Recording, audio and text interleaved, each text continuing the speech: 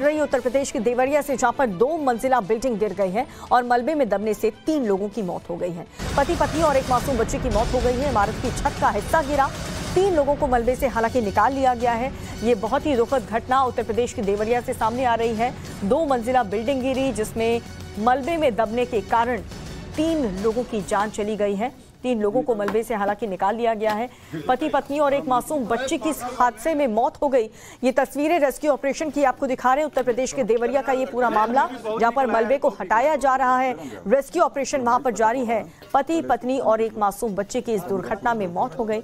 इमारत की छत का हिस्सा गिरा, जिसके बाद ये हादसा हुआ।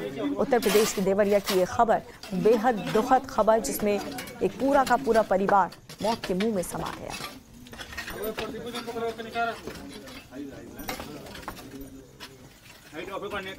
के का ले ले